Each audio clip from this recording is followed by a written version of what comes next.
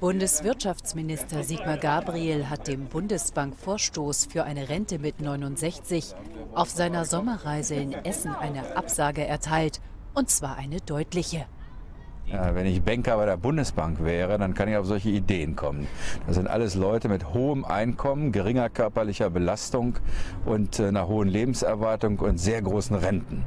Äh, ein Facharbeiter, eine Verkäuferin, eine Krankenschwester und eine Altenpflegerin hält das für eine bekloppte Idee. Ich auch.